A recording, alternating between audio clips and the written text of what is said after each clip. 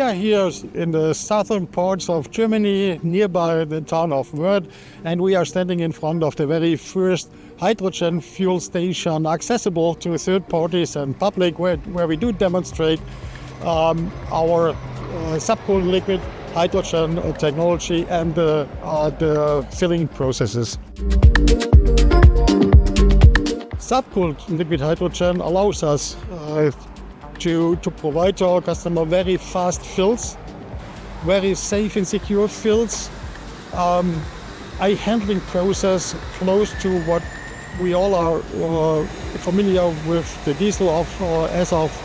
uh, today. We are uh, shooting for heavy-duty long-haul trucks in uh, in Germany. Those trucks um, a, a, weight of in total 40 ton and carry some 80 kilograms of H2, and we are able with that process uh, to fill 80 kilograms of H2 in between 10 and 15 minutes. And this allows for 1,000, 1,000 approximately 1,000 kilometer uh, of, of, range, um, which suits the needs of our customers in a quite good manner.